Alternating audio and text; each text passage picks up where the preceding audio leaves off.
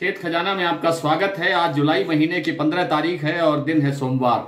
आज सरसों बाज़ार पर हल्का सा दबाव देखने को मिल रहा है। जयपुर का जो भाव है वो इकसठ सौ रुपए है, पच्चीस रुपए कमज़ोर हुआ है शनिवार की तुलना में।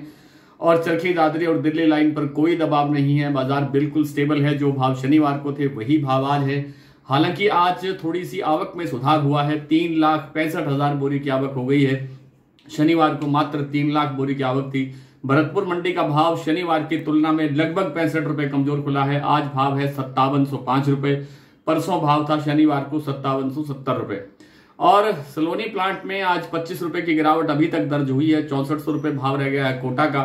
और गोयल कोटा के अंदर पचास रुपए की गिरावट है। गोयल कोटा का भाव है पाँच हज़ार नौ सौ पचास रुपए। और जो लगता ये है कि बाज़ार ज़्यादा टूटने की स्थिति में नहीं है, लेकिन शाम तक इंतज़ार करते हैं। शाम के पाँच बजे की वीडियो में आपसे विस्तार से बात करेंगे। तब तक के लिए नमस्कार।